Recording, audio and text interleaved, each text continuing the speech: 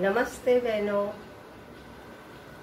ગયા ગુરુવારે કેટલાક કારણોસર આપણે વિશ્વાનો કાર્યક્રમ નહોતા કરી શક્યા. અને સૂચના આપવામાં આવી હતી કે દસમીએ આપણે એ કાર્યક્રમ ઓનલાઈન રજૂ કરીશું. તો એ મુજબ આજે આપણે મળીએ છીએ. વિશ્વ નિમિત્તે બહેનોને નિબંધ લેખન કરવાનું કહેવામાં આવ્યું હતું. અને ઘણી બહેનો નિબંધો આપી પણ ગઈ છે. એમાંથી એ નિબંધોમાંથી થોડા થોડા અંશો આજે હું આપની સમક્ષ વાંચી સંભળાવું છું. આ કોરોનાના કહરમાં ઘેર રહીને બહેનો નિરાશ ન થઈ જાય અને સતત સર્જનાત્મક કાર્ય કંઈક કરતી રહે એવો ધીરુબેનનો ઉદ્દેશ અને એથી એ રીતે આપણી બહેનો પાસે એ કંઈક ને કંઈક લખાવતા રહ્યા છે. સાંકળ કથા એકના સફળ પ્રયોગ બાદ આજે સાંકળ કથા બેનો પ્રયોગ પણ ચાલી રહ્યો છે. અને સાથે સાથે આ નિબંધ લેખન તો ખરું જ. તો એ આવેલા નિબંધોમાંથી થોડા થોડા અંશો આજે રજૂ કરી આપણે વિશ્વની બાકીની બહેનો, જેમણે હજી નિબંધો નથી લખ્યા, તેમને લખવાની પ્રેરણા મળે એ હેતુથી આ કાર્યક્રમ રજૂ કર્યો છે. સૌ પ્રથમ નિર્મળાબેન પટેલ. મારો બગીચો. જેમ મા વિના સુનો સંસાર, એમ બાગ વિના સુનું મારું ઘર. સુંદર મજાનો બંગલો પેસ્તાની સાથે પહેલી નજર બહારના બગીચા ઉપર પડે. અને આપણા મનને કેટલો આનંદનો અનુભવ થાય. ઘરમાં પહેસતા પહેસતા બાગમાં શું સારું છે? તેનું નિરીક્ષણ થવા માંડ્યું. કુંડે કુંડે નજર ફરે છે. ક્યારામાં પણ શું નવીન છે? તેની ઇંતજારી વધતી જાય છે. આવનાર મહેમાનનું પહેલું વાક્ય હોય છે, વાહ, ખૂબ જ સુંદર બગીચો. તમારો બગીચો માળી સંભાળે છે કે જાતે? ના ભાઈ, ના. જાતે આટલો મોટો બગીચો આપણાથી ના સંભાળાય. હું રોજ સવારે ઉઠીને બારણું ખોલું, ત્યારે પહેલી નજરે બગીચામાં એક આંટો મારીને બધું નિરીક્ષણ કરવાનું મન થાય. આજે જાસૂદના છોડને કેટલી કળીઓ છે અને ક્યારે ખીલશે એની ઇંતેજારી પણ થાય. મારે મારા બગીચા માટે મને ઘણો જ પ્રેમ છે. એમાં જાત ભાતના ફૂલના છોડ છે. મોગરાની સિઝનમાં મોગરા વીણવાની અને પૂજામાં એની માળા કરીને મૂકવાની એ આનંદની ઘડીઓની તો વાત જ થાય એમ નથી.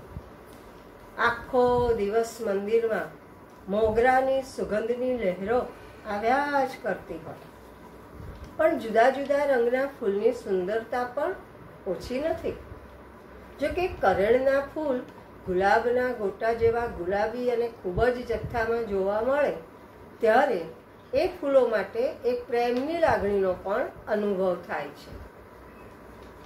ફૂલોને છોડની સાથે વાતો કરવાની પણ એક મજા છે.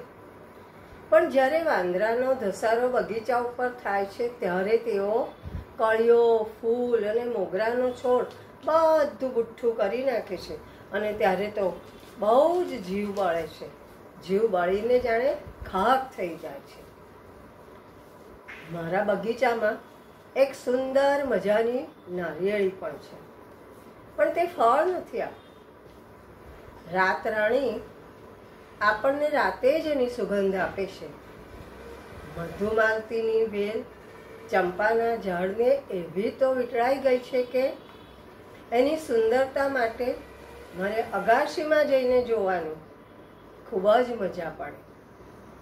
પવનની સાથે એની સુગંધની લહેરો આવ્યા જ કરે છે.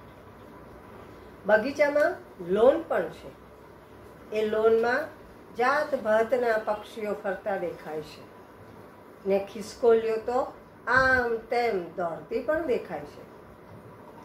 પાણી અને દાણા મૂકીએ એટલે મોર અને ઢેલની હાજરી હોય જ.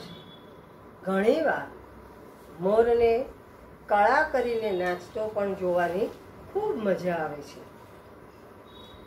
ઘરના કામ પરવારીને બાગમાં હિંચકે બેસીએ ત્યારે નાના, મોટા અને રંગબેરંગી પતંગિયા પણ જોવા મળે છે ને વિચાર આવે છે કે ઉડાઉડ કરીને સહેજવાર માટે ફૂલો ઉપર બેસીને પાછું ઉડ્યા કરતાં એને થાક નહીં લાગતો હોય? આવા વિચારો તો ઘણા આવે. ચાંદનીના નાના નાના છોડ ઉપર સફેદ નાના ફૂલને લીલી લીલી પાંદડીઓ અને ભરચક થયેલો એ છોડ જોવાની બહુ જ મજા આવે છે. લીલી ચાના છોડ એના પાંદડા એ પીવાની પણ મજા. લીલીના મોટા મોટા પાંદડા અને સફેદ રંગના ફૂલનું એક ઝુમખું ઊંચે આવેલું દેખાય. પણ ઉનાળાના ધગધગતા તાપમાં બધું જ સુકાઈ જાય. ને ચોમાસામાં પાછું લીલું છમ અને એક બીલીનું જે ઝાડ છે ને, તો શ્રાવણ મહિનામાં લોકો બીલીપત્ર લેવા પણ આવે. આવી બધી છે કુદરતની લીલા. આપણી તો માત્ર થોડી મહેનત. હવે આપણે રજૂ કરીએ છીએ રેખાબેન ભટ્ટ ગાંધીનગર. એમણે પણ આપણને આવો જ એક કુદરતનો સરસ નિબંધ આપ્યો છે. મારી આંખોમાં હજુ ઊંઘ છે. કાનમાં સંભળાય છે દૈયળનો સુરીલો અવાજ. અને મારું મન બહાર દોડી જાય છે. સાથે પગ પણ આંખો શોધે છે પૂર્વાકાશમાં. તેજસ્વી ચમકતો શુક્ર. આને કહેવાય બ્રાહ્મ મુહૂર્ત. થોડે દૂર એક ઝાડ પરથી કંસારો પણ સૂર પુરાવે છે. ટૂંક ટૂંક ટૂંક. જાણે ખેતરમાં પાણી પાવા શરૂ કરેલો પંપ. ઢૂક ઢૂક ઢૂક. કંસારાનો અવાજ સંભળાય છે, પણ દેખાતો નથી. જ્યાંથી અવાજ સંભળાય છે, ત્યાં ખૂબ ઊંચી ડાળી પર નજર કરતા લાગે છે કે એ જ કંસારો. પણ રંગ રૂપ પકડાતા નથી. છબી આંખોમાં ઝીલાતી નથી. મારી આંખોનો લેન્સ નબળો પડ્યો હશે. પણ અવાજ તો રોજ સંભળાય છે ને, એમ કહીને આનંદ કરું છું. રોજના ક્રમ મુજબ મોર્નિંગ વોકમાં તળાવ બાજુ જતા મોરના ટહુકા સંભળાયા કરે છે. અદ્ભુત. આજે તો લોટરી લાગી ગઈ. બગીચાની ફેન્સિંગ પર બેઠું છે કિંગફિશર. કેટલીય વાર એને ઉડતું જોયું છે, પણ નિરાતે તાર ઉપર બેસીને ગાતું આજે પહેલી વાર સાંભળ્યું. ખૂબ મીઠી મીઠી સીટી મારતું મંડી પડેલું અને એની જ બાજુમાં બેઠેલું પીળક બંને આંખો ઠરે એટલા રૂપાળા. જાણે જોયા જ કરીએ કિંગફિશરનું ગાન અને પીળકની રંગછટા ખાસી બે ત્રણ મિનિટ ચાલેલી. આ ઓડિયો વિઝ્યુઅલ શો બહુ મજા આવી. મોબાઈલ સાથે ના રાખવાની ટેવ માટે આજે રંજ થયો. પણ પછી સારું થયું.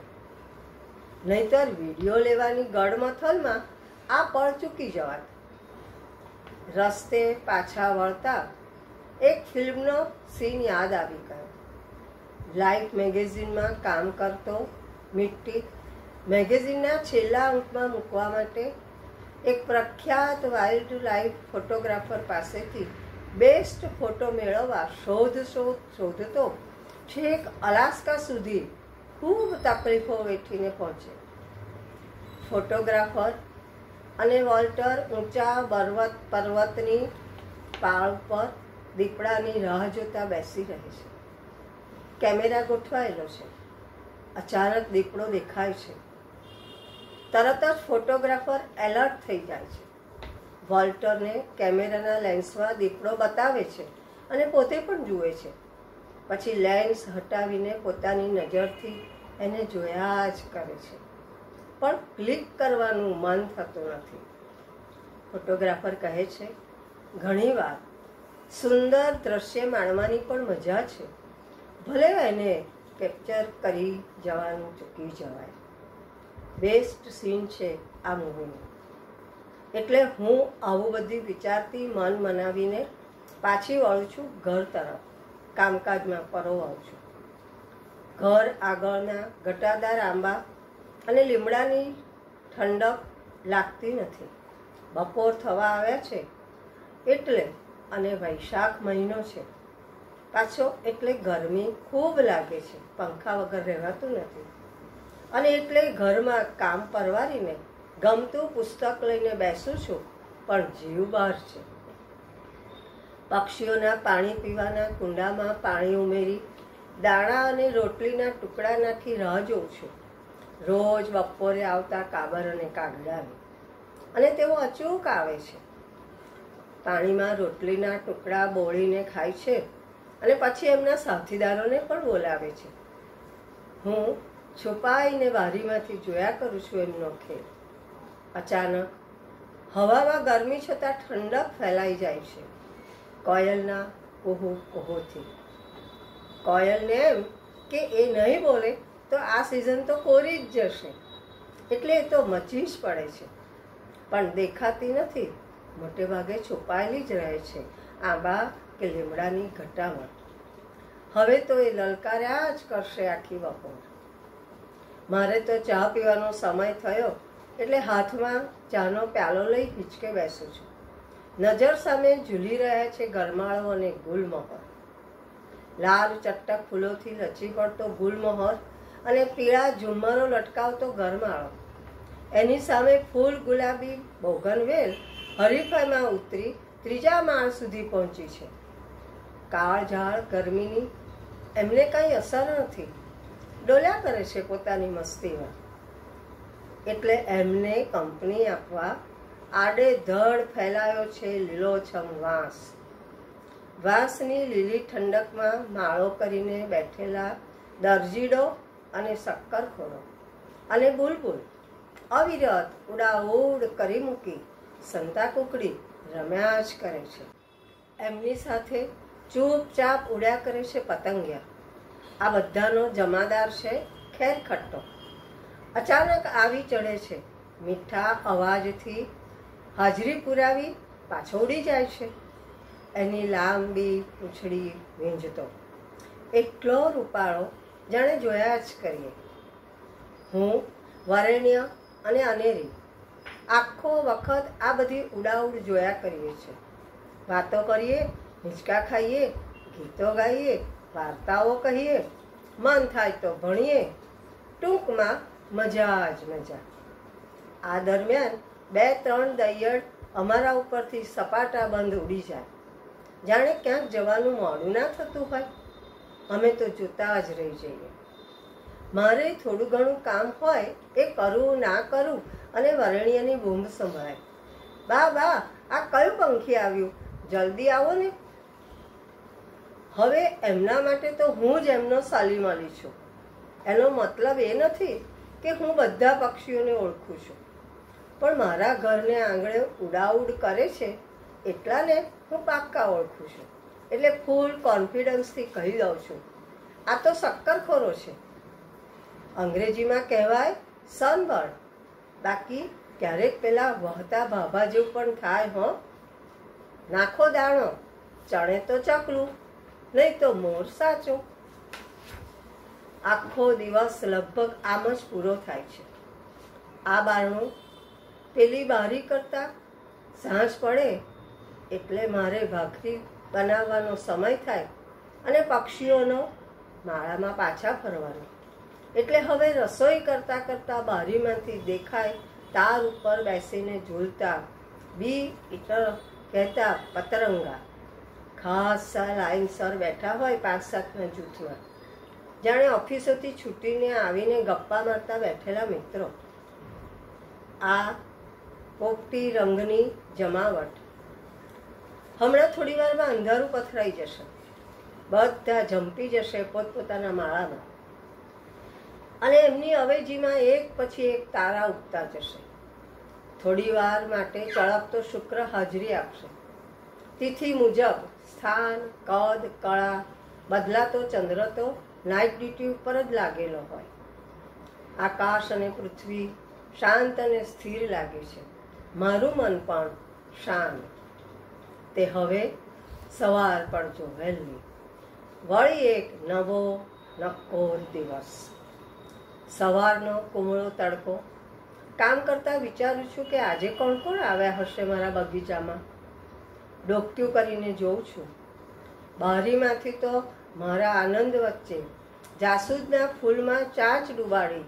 ઊંધો લટકીને રસ પી રહ્યો છે નીલરંગી શક્કરખોરો બાજુમાં વીટ વીટ કરતો ઉડાઉડ કરી રહ્યો છે દરજીડો.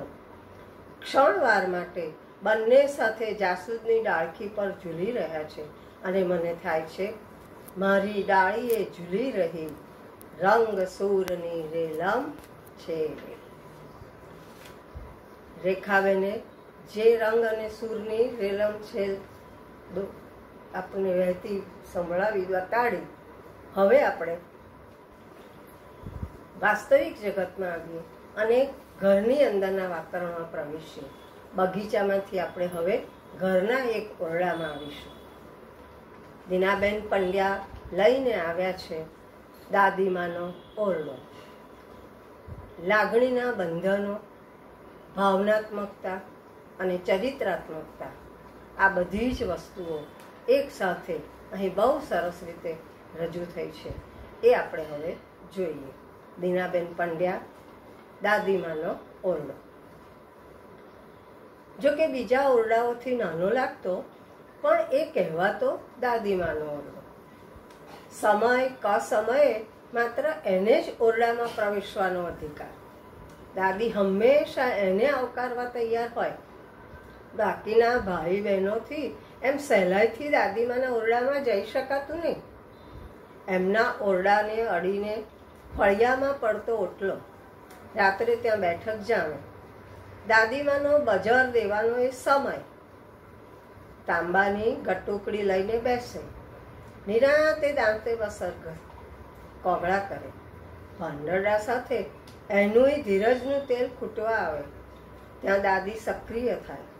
પછી તો રામકૃષ્ણની, રાજા રાણીની વૈત્યાની રાક્ષસ પરી, પ્રાણીઓ, પક્ષીઓની કંઈક વાર્તાઓ દાદીમાની રસાળ શૈલીમાં સાંભળવાની થાય. દાદી મન થાય તો વાર્તા કહેતા કહેતા અભિનય પણ કરે. મૂછો આમળતા રાજાની, મોટેથી હસતા રાક્ષસની કે રાવણને તીર મારતા રામનો અભિનય પણ દાદી કરે. સાંભળવું અને જોવું, એ બે ઇન્દ્રિયોથી તૃપ્ત થઈ એ ભાંડરડા સાથે સુવા જાય. આમ તો સવાર સાંજ દાદીમાનો એ ઓરડો, ઝીણા સુરે, ભજનો તાળીઓ સાથે ધૂનથી ભરપૂર રહેતો. એથી ઘર ભર્યું ભર્યું લાગતું. કોઈ જાણે ઘરમાં એકલું નથી. બધાને દાદીના ઓરડામાંથી આવતા એ સ્વરનો સધિયારો રહેતો અને ઘર હળવાશ અનુભવતું. એને ક્યારેય તાળું લાગતું નહીં. દાદીમાનો ઓરડો જાણે ઘરનું હૃદય. ચોવીસ કલાક ધબકતો. અલી ચશ્મા ગોતી દે ને, ચશ્મા ગોતી દઈશ તો મગજની લાડુડી દઈશ. દાદીની એ લાલચ સામે ટકી શકાતું નહીં. ગોતવામાં દિલથી મહેનત કરતી. રામાયણમાંથી કે નાના મંદિરની ધારેથી દાદીમાના ચશ્મા મળી જતા. પછી પિત્તળનો ડબરો ખોલી દાદી મગજની લાડુડી આપતા અને દાદીનો ઓરડો સ્વાદ સુગંધ કા રાજા જેવો લાગતો. ને એમ જ વચન પાલનના પાઠ એ ઓરડામાં બેઠા બેઠા મને શીખવા મળ્યા. દાદીમાના ઓરડામાં એક ચીજ ખાસું ધ્યાન ખેંચતી? બારણાની બાર શાખ ઉપર ભીંત, સરસો, ટાંગેલો, ભીંજણો. સિતારા, જરીના ફૂલ લેસ, લોહીથી ભરેલો રાતી રેશમની ઝૂલવાળો વીંઝણો દાદી, કદી કોઈને વીંઝણાને હાથ અડકવા ના દે. દિવાળીએ વીંઝણો જાતે જ સાફ કરે. કહે, મારા પિયરની માતર એક મોઘી જણસ અને આ એંધાણી. અલી, આને માતર જોઉં કે હાથમાં ઝાલું ને પિયર્યું રૂમ ઝૂમતું મારી સામે દોડતું આવી જાય, હો. એ મોટા મોટા ઓરડાઓ પરસાળનો હિંચકો, હિંચકા ઉપર હિંચકતા બાપુજી, રાંધણિયામાંથી પરસેવે નીતરતી ને મને જોતી માં, દાદા, દાદી, ભાંડરડા, ફળિયાની પીપર, મીઠી લીમડી, વચ્ચે તુલસીનો ક્યારો પીપરની છાયામાં રમતા પાંચિકા, ટીટી ટપ્પો, ટમેટું, પણ હવે પિયરના નામે પાણો. હવે કોઈ ના મળે. વડીલો, જુવાન બે બહેનો, વચ્ચે ભાઈ બધા કાળ પાર થયા. બસ, એક નાનો ભાઈ એણે વિદેશની વાટ પકડી ને વર્ષો થઈ ગયા. જાણે ભાઈ છે છે અને નથી નથી બોલતા દાદી વીંઝણાને બથ ભરીને બે આંસુ પાડીને. દાદીના આંસુ એ ઓરડામાં ઝીલાયા વગર ખરી પડે. ક્યારેક એમાં જ સુકાઈ જાય. પણ એવું તો કોઈક વાર થાય. બાકી આમ તો દાદીનો ઓરડો આનંદ અને સકારાત્મક ઉર્જાથી ભરેલો. આચારો, પરમો ધર્મ એ એમનું જીવન સૂત્ર અને જીવવાની રીત પણ. સેવા, નિષ્ઠા કર્તવ્યપરાયણતા જેવા ગુણાનુરાગી દાદી હંમેશા લાગણીની ભાષામાં જ બોલતા.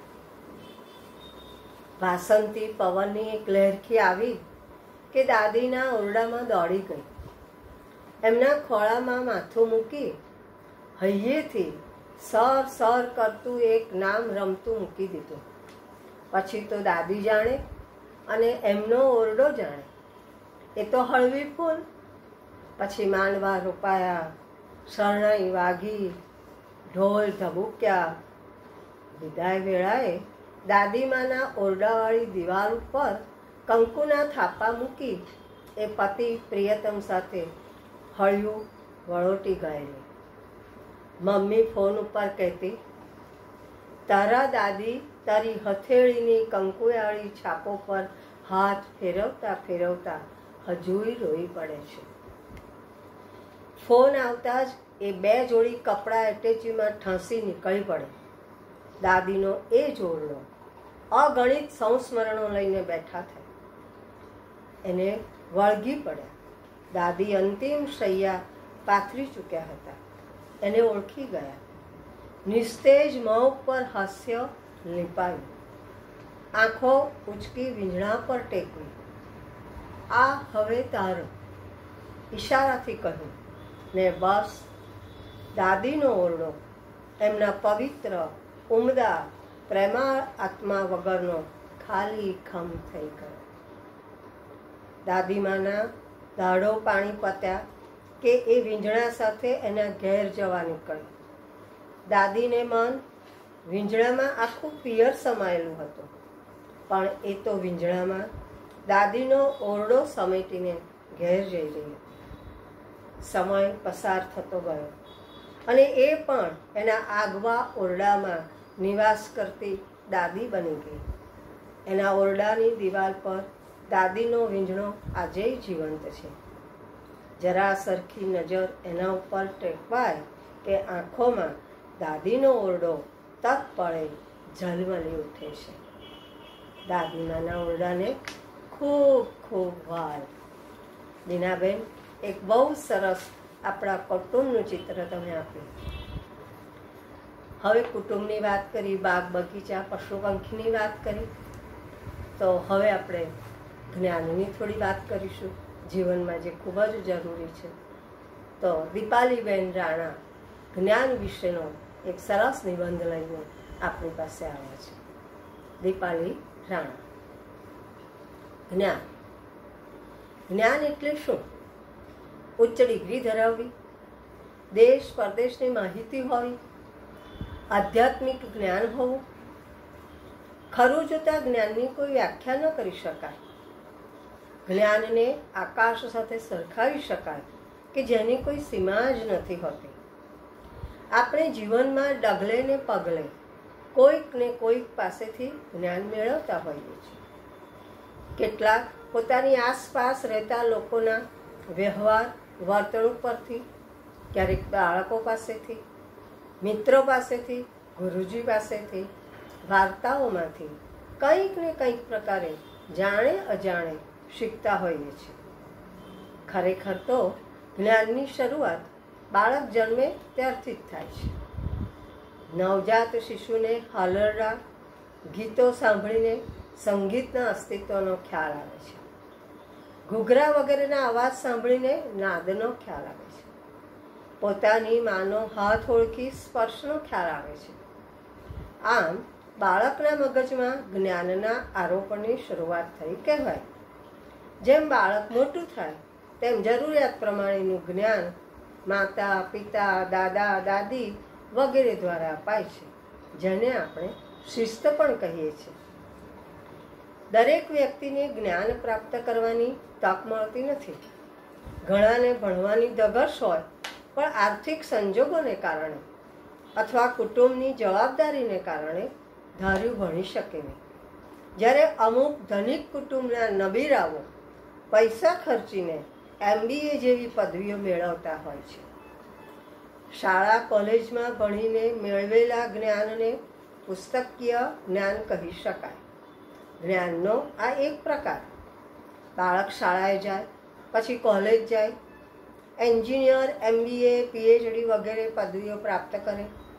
આ પ્રકારના જ્ઞાનને પુસ્તકીય જ્ઞાન કહેવાય. ઘણા માતા પિતા એવા બીબામાં ગોઠવાયા હોય છે કે સંતાનને નેવું અથવા તેનાથી વધુ ટકા આવે કે ડાક્ટર કે એન્જિનિયર બને તો જ હોશિયાર કે સફળ કહેવાય. પરિણામે તેઓ બાળક પર ભણવા બાબતે એટલું દબાણ લાવે છે કે કેટલીક વાર બાળક માટે ભણતર બોજારૂપ બની રહે છે. તેથી તેમને પુસ્તક પુસ્તકીય જ્ઞાન સિવાય ખાસ બીજી કાંઈ સમજ ઓછી હોય છે. અર્થાત વ્યવહારિક જ્ઞાન ઓછું હોય છે. આવા બાળકો ઘણું ખરું. વ્યવહારિક જીવનમાં અસફળ પુરવાર થાય છે. વ્યવહારિક જ્ઞાન જેને આપણે જ્ઞાનનો બીજો પ્રકાર કહી શકીએ.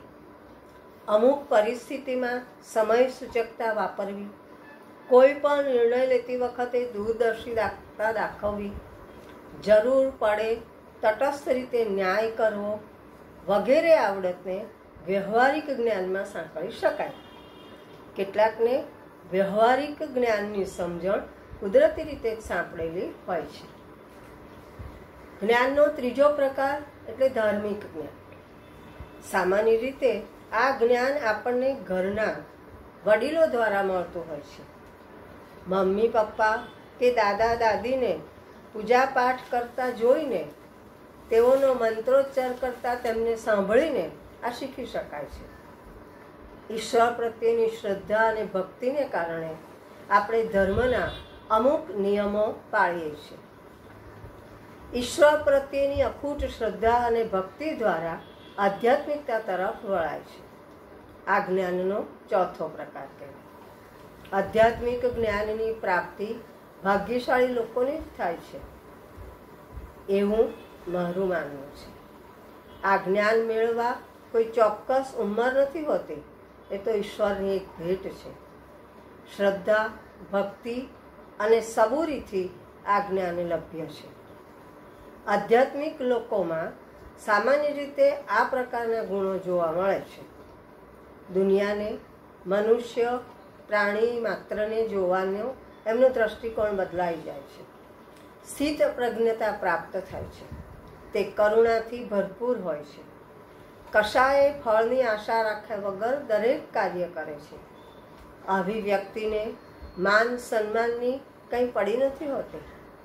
આવી વ્યક્તિ ઈશ્વર સાથે ઐક્ય પ્રાપ્ત કરી ઈશ્વરના સાકાર સ્વરૂપમાંથી નિરાકાર સ્વરૂપને મહેસૂસ કરે છે અને મોક્ષ પ્રાપ્ત કરે છે. દરેક વ્યક્તિ, યુવાન બાળક કે વૃદ્ધ, કર્મને જુદી જુદી દ્રષ્ટિએ જુએ છે. જેમ કે, મારી દીકરી છઠ્ઠા ધોરણમાં ભણતી હતી ત્યારની આ વાત છે. એક બપોરે મારે કિટી કિટી પાર્ટીમાં જવાનું થયું. બપોર બે વાગ્યાનો સમય હતો અને મારા સાસુ સૂતા હતા. એટલે મેં એને કહ્યું, દાદી ઉઠે તો કહેજે કે મમ્મી નીચે ત્રીજે માળ કિટી પાર્ટીમાં ગઈ છે. એણે કહ્યું, સારું. હું જ્યારે કિટીમાંથી પાછી આવી કે તરત જ મારા સાસુએ મને પૂછ્યું, શીનુએ મને એવું કહ્યું કે તું જુગાર રમવા ગઈ હતી? આ સાંભળી હું પણ બે ક્ષણ અવાક થઈ ગઈ. પછી મને ખ્યાલ આવ્યો કે સામાન્ય રીતે કીટી પાર્ટીમાં મહિલાઓ હાઉસી નામની રમત રમતી હોય છે, જેમાં પૈસા આપીને ટિકિટ લેવાની અને જેની ટિકિટ ઉપર લખેલા નંબરો બધા જ મેળવાઈ જાય એ જીત્યું ગણાય અને તે વ્યક્તિને દરેક જણે આપેલા રૂપિયા મળે. તેથી જ મારી દીકરીને આ રમત જુગાર છે. એવું લાગ્યું હશે. એનો મને તરત જ ખ્યાલ આવ્યો. મેં મારા સાસુને હાઉસી વિશે સમજાવ્યું.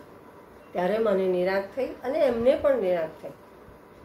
પણ અચરજની વાત તો એ કે અગિયાર વર્ષની દીકરીને હાઉસી એક પ્રકારનો જુગાર છે, તે કેવી રીતે સમજાવ્યું હશે? પછી તો મેં હાઉસી રમવાનું બંધ કર્યું. આ બધું કહેવાનું તાત્પર્ય એટલું જ કે દીકરીએ મારી આંખ ઉઘાડી માટે તે મારી ગુરુ બની. માટે જ દત્તાત્રેય ભગવાને કહ્યું છે કે એમના તો ચોસઠ ચોવીસ ગુરુઓ છે. એ ચોવીસ ગુરુની યાદી આપણે અત્યારે ન જોતા. આ દત્તાત્રેયની જેમ દરેક સ્થળેથી કંઈક ને કંઈક શીખતા રહીએ. એ જ વાત મહત્વની છે.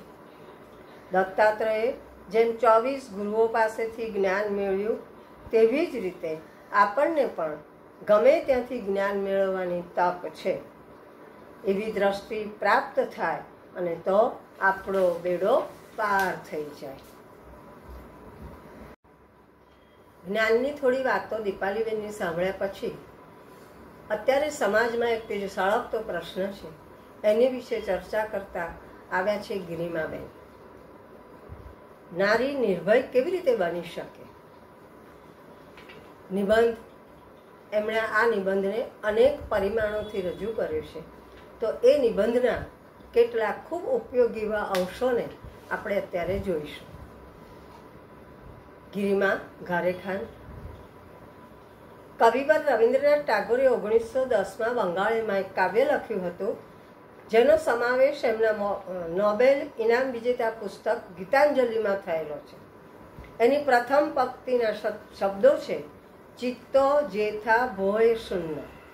જેનો ગુજરાતી અનુવાદ થાય છે, જ્યાં મન ભય વગરનું છે. આ એમની સ્વતંત્ર ભારતની આશાભરી કલ્પના હતી.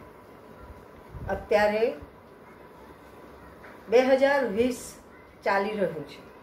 આ કાવ્ય લખાયને એકસો દસ વર્ષ અને ભારતને સ્વતંત્રતા મેળવે તોતેર વર્ષ થયા છે. તો શું ગુરુવરની ભય વિનાના મનની આશા ફળીભૂત થઈ છે? ના. ભારતની નારીઓ માટે તો નહીં જ. ઉલટું, એ વખત કરતાં પણ અત્યારે નારી વધારે ભયભીત દશામાં જીવે છે. છેલ્લા આંકડા પ્રમાણે આપણા દેશમાં દર પંદર મિનિટે એક બળાત્કાર થાય છે. અને એમાં પચીસ ટકાથી વધારે નાની બાળકીઓ હોય છે. માત્ર ઘરની બહાર જ નહીં, ઘરમાં પણ નારી સતત ભયના ઓછાયામાં જીવે છે. ભયની ભૂતાવળ નારીનો પીછો ક્યાંય છોડતી નથી. માત્ર નારી જ નહીં, એની સુરક્ષા માટે ચિંતિત સર્વ કોઈએ એક ડરને સાથે રાખીને જીવવું પડે છે. કેવું વિચિત્ર છે. નારી તું નારાયણી એમ કહેવાવાળા. યત્ર નાર્યસ્તુ પૂજ્યંતે રમંતે તત્ર દેવતા એમ માનવાવાળા આપણા દેશમાં નારીએ આવું ડરવાનું? એક તરફ થાય છે કે હવે જ્યારે આપણે આટલો લાંબો સમય કાઢ્યો છે, સુનિતા વિલિયમ્સ અને ઇન્દ્રા વાતો કરીએ છીએ. મિતાલી રાજનો પણ એક જમાનો છે. રજમાંથી સૂરજ બનનાર કલ્પના સરોજનાને કિરણ બેદીના જમાનામાં જીવીએ છીએ. સાયના નેહવાલ, કિરણ મજમુદાર શો અને સુષ્મા સ્વરાજ જેવા પ્રેરણાદાયી વ્યક્તિત્વ આપણી પાસે છે. દરેક ક્ષેત્રમાં આપણા દેશની સ્ત્રીઓ આટલો ડંકો વગાડી રહી છે. તો પછી આ ડર શા માટે? એનો જવાબ છે, આપણને ડર લાગે છે કારણ કે આપણે નિર્ભયાનું દર્દ જોયું છે. હૈદરાબાદની પ્રિયંકા રેડ્ડીની વેદનાના આપણે સાક્ષી બન્યા છે. રોજ સવારે છાપું ઉઘાડતા કે ટીવી ચાલુ કરતા બળાત્કારની ઘટનાઓ આપણી આંખોનું સ્વાગત કરે છે. પાંચ વર્ષની બાલિકાઓના ચૂંથાયેલા દેહનું વર્ણન આપણા આત્માને હચમચાવી નાખે છે અને રોજ બરોજની આ ઘટનાઓ વાંચીને, જોઈને, સાંભળીને હૃદયમાં ડર, અડ્ડો જમાવીને બેસી જાય છે. આકાશને આંબનાર જ કિરણ જેવી સ્ત્રીઓ કરતા આ અંધકારનું સામ્રાજ્ય વધારે મોટું છે. એ તિમીરનો લંબાયેલો હાથ ગમે ત્યારે ગમે તે ઘર, ગમે તે નારી સુધી પહોંચી શકે છે. એની જીવહાના શિકારમાં ઘર છે, આંગણામાં છે, શાળામાં છે, ઓફિસોમાં છે, વાહનોમાં છે, રસ્તામાં છે. સમાજમાં ચારે કોર પથરાયેલા એ રાક્ષસોને માથે સિંગડા નથી. એ ગમે ત્યાં, ગમે તે સ્વરૂપમાં હોઈ શકે છે અને માટે જ આપણને એમનો ડર લાગે છે. પણ આવું ક્યાં સુધી ચાલશે? ભયની સાંકળોમાં જકડાયેલી નારી દોડી દોડીને કેટલું દોડી શકશે? ક્યાંક એ સમાજે આપેલા વિષમ અનુભવોથી તો ક્યાંક પોતાની અંદર ભરાઈ ડરેલા ડરથી પાછી પડી જશે. ક્યારેક ત્યાં ડરથી ડરેલા કુટુંબીજનો તેને રોકશે. અત્યારે ડરવું એ નારી માટે શ્વાસ લેવા જેટલું સામાન્ય બની ગયું છે. અને આ ડર એના પ્રગતિના પંથમાં ભોરિંગની જેમ સામો આવીને ઊભો રહી જાય છે. તો શું નારીએ હંમેશા એક ડરના પડછાયામાં જીવીને પોતે જ એક પડછાયો બનીને જીવવાનું? ના. નારી ધારે તો એ ડરના ભમ્મરિયા કૂવામાંથી બહાર આવી શકે છે. એને માટે શારીરિક શક્તિની સાથે માનસિક શક્તિની પણ ખૂબ જ જરૂર છે. એને આત્મવિશ્વાસની જરૂર છે. અને આત્મવિશ્વાસ ક્યાંથી આવે? પોતાની જાતનો તો ખરો જ, પણ એનાથી એ પહેલાં એના માતા પિતા પાસેથી એને મળશે. સમાજે માત્ર પુત્રીઓને આત્મવિશ્વાસ વધારીને નથી બેસા રહેવાનું. પોતાની પુત્રીની સલામતી ઈચ્છતા હોય, તેમણે પોતાના પુત્રને પણ સારા પુરુષ થવાની તાલીમ આપવી પડશે. જો દરેક વખતે પુરુષોની વિકૃત માનસિકતા ઉપર એનો ઉછેર ઉછેર જ જવાબદાર નથી હોતો, તરુણાઈ સાથે આવતી અમુક સ્વતંત્રતાઓમાં આજના જમાનામાં બહુ જલ્દીથી એક સ્વતંત્રતા મળી જાય છે. ઇન્ટરનેટ અને મોબાઈલ વાપરવાની. હજુ રમકડા રમવાની ઉંમર વિદાય થઈ જ હોય, ત્યાં તો મોબાઈલ નામનું રમકડું જાણે એમના હાથમાં આવી જાય છે અને પછી એનો દુરુપયોગ થઈ જાય છે. તડકો લાગે તો સૂરજને ઢાંકી ન શકાય, પણ પોતાને માથે છત્રી તો ઓઢી શકાય ને. ઇન્ટરનેટની ખરાબ અસરોથી બચવા માટેનું છત્ર વડીલો જ બની શકે. વળી શાળાઓમાં યોગ્ય સમયે યોગ્ય જ્ઞાન અપાય તો કિશોરો કુતૂહલ સંતોષવા માટે ખોટી જગ્યાએ ફાંફા મારવાનું બંધ કરી દે અને પરિપક્વ જ્ઞાન મેળવે. વ્યક્તિઓ મળીને કુટુંબ બને છે અને કુટુંબ મળીને સમાજ, તો સમાજને ઉજ્જવળ બનાવવા માટે નારીને નિર્ભય બનાવવાની જવાબદારી સમાજની છે. માત્ર સમાજની નહીં સરકારની પણ ખરી અને ન્યાયતંત્રની પણ ખરી. ઘણા લોકો સ્ત્રીઓ ઉપર થતા બળાત્કારો માટે એમના આધુનિક કપડાં અને રીતભાતને કારણરૂપ બનાવે છે. પણ જો એવું જ હોત, તો ગામડાઓમાં, ઘરોમાં અને નાની બાળકીઓ પર બળાત્કાર ન થાત. એટલે નારીને નિર્ભય બનીને ફરી શકે, હરી શકે એવું વાતાવરણ સર્જવા માટે આપણે સૌએ પ્રયત્ન કરવાની જરૂર છે. દરેક પંખી પૂરા જોરથી પાંખો ફફડાવશે તો શિકારીની જાળમાં ફસાયા વિના જાળ લઈને ઉડી જઈ શકશે. પ્રયત્નોના વિવિધ હથિયારો લઈને ઉભેલી આશા નામની દેવી ભય નામના રાક્ષસ કરતાં અનેક ગણી શક્તિશાળી છે. ગિરિમાબેને એક દીર્ઘ નિબંધમાં આ પ્રશ્ન અને એના ઉકેલોની બહુ વિશદતાથી ચર્ચા કરી છે. આપણે એમાંથી માત્ર એના અંશ જોયા. અને હવે વળી પાછા આપણે કુદરત તરફ વળીશું. સ્મિતાબેન શાહ પાસેથી બીજનો ચાંદ નામનો સરસ લેખ મળ્યો છે. હવે તેના થોડા અંશો જોઈએ. બેસતા મહિનાના બીજા દિવસે આવતી સુદ બીજના ચંદ્ર દર્શન માટે મને ભારે ઉમળકો. ગઈકાલે જ વીજ ગઈ. મને મોડું મોડું યાદ આવ્યું. એટલે થયું, આજના દર્શન નહીં થાય. પણ દોડતી દોડતી બહાર આવી ગઈ અને આકાશમાં આમ તેમ નજર ફેરવી તો ચાંદભાઈ દેખાઈ ગયા. ઉનાળાના દિવસો હતા, એટલે લાંબા દિવસનો લાભ મળી ગયો. મન તો જાણે ફૂલીને ફાળકો થઈ ગયો. એ કેમ થતું હશે? કારણ કે આ બીજનો ચાંદ બહુ જ મૂલ્યવાન ગણાય છે. સવારથી ગોખી રાખ્યું હોય કે આજે તો બીજ છે, એટલે સાંજે દર્શન કરવાના છે. પણ ઘણું ખરું સાંજે ભૂલાઈ જાય. અને જ્યારે ભૂલાઈ જાય, ત્યારે ચાંદભાઈએ અવશ્ય દર્શન આપી જ દીધા હોય. કોઈ વાર સાંજે યાદ આવી જાય કે આજે તો બીજ છે, એટલે કશું કામ કર્યા વગર ઉપર જોયા જ કરવાનો કે હમણાં ચાંદ ઉગશે. એ દિવસે ચાંદભાઈ ગુમ હોય એ દિવસે હદ તાળી આપણીને ક્યાંક વાદળોમાં છુપાઈ ગયા હોય. સુદ બીજના ચંદ્ર માટે જુદા જુદા સમયે જુદા જુદા લોકો પાસેથી જુદું જુદું સાંભળવા મળ્યું છે. નાની હતી ત્યારે નવો મહિનો શરૂ થાય, એના બીજા દિવસે વડીલો દર્શન કરાવતા. પણ ત્યારે તો ક્યારેય વિચારેલું નહીં કે કેમ કરાવે છે. થોડી મોટી થઈ એટલે ખબર પડી કે બીજનું દર્શન શુભ છે. વર્ષો પછી મોટી ઉંમરે ધાર્મિક ભણવાનું, એટલે કે જૈન ધર્મનું ભણવાનું ચાલુ કર્યું, ત્યારે ભણી કે બીજ દર્શન તિથિ કહેવાય, કારણ કે બીજના દિવસે ચંદ્ર સિદ્ધ શિલા ઉપર હોય છે, જ્યાં ચોવીસ તીર્થંકરો વાસ કરે છે. પછી એવું પણ જાણ્યું કે બીજનો ચાંદ ભગવાન શિવે તેમના મસ્તક ઉપર ધારણ કરેલો હોય છે, એટલે બીજ દર્શન મહત્વનું શુભ ગણાય છે. વળી અમાસ પછી પહેલ વહેલું ચંદ્ર દર્શન સામાન્ય રીતે બીજે થતું હોય છે. સાહિત્યમાં પણ સુદ બીજનું મહત્વ ઓછું નથી. સાર્થ જોડણી કોષમાં બીજનો ચંદ્રમાનો અર્થ મંગળ શુકન અને ચડતીનું પ્રથમ પદ એવો આપ્યો છે. ઘણા કવિઓએ સુંદર કાવ્યો રચ્યા છે. એમાં મને રાજેન્દ્ર શાહની પંક્તિઓ ખૂબ ગમે છે. તને જોઈ જોઈ તોય તું અજાણી. બીજને જરૂર ખડે ઝૂકીતી પૂર્ણિમા. જાજેરો ઘૂમટો તાણી.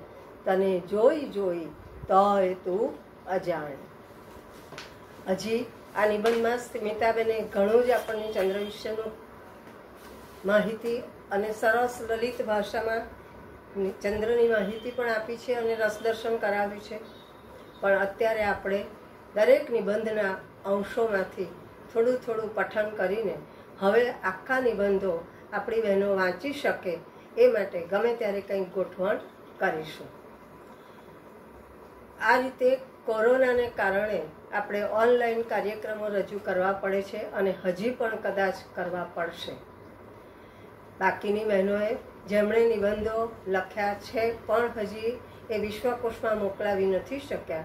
તો સપ્ટેમ્બરના અંત સુધીમાં તેઓ પોતાના નિબંધો મોકલાવે, જેથી ભવિષ્યમાં બીજા કાર્યક્રમમાં એ નિબંધોમાંથી પણ અવશોનું પઠન કરીને આપણે એક કાર્યક્રમ રજૂ કરીશું. હવે એક બીજી મહત્વની વાત. ધીરુબેનની પ્રેરણાથી આપણી બહેનો લખતી થઈ ગઈ છે. અને ઘણી બહેને તો પહેલી વાર અને છતાં ખૂબ સુંદર લેખન કાર્ય કર્યું છે. તો બહેનોની સર્જનાત્મક શક્તિને આ રીતે પ્રેરણા પૂરી પાડવા માટે આપણે સૌ ધીરુબેનને ખૂબ ખૂબ અભિનંદન આપીએ અને વંદન પાઠવીએ. આપણે વાર્તા વિહાર દ્વારા એમણે આપણી બહેનોની લેખન શક્તિને એક બહુ સુંદર સ્વરૂપ આપીને પુસ્તક રૂપે આપણા સમાજ માટે મૂક્યું છે. એ વિશ્વ માટે પણ કારણ કે આ આખી વાતના મૂળમાં વિશ્વા સંસ્થા હતી અને ધીરુબેને એ વિશ્વાના નિમિત્તે જે વાર્તાઓ લખાવી, એમાંથી પસંદ થયેલી છાસઠ વાર્તાઓ આ સંગ્રહમાં મૂકી અને એમણે પ્રકાશિત કરી છે. અને એ વિશ્વા માટે અને ધીરુબેન માટે ખૂબ આનંદની અને ગૌરવની વાત છે.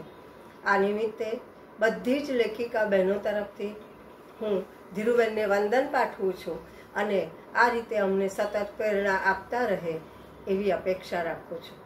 હવે પછીનો કાર્યક્રમ જ્યારે રજૂ કરવાનો હશે ત્યારે તમને કૃપાબેન દ્વારા એની માહિતી મળી જશે. આપણે એની વોટ્સઅપમાં રજૂઆત કરીશું. તો ફરી ક્યારેક મળીશું પાછા. જય હિન્દ.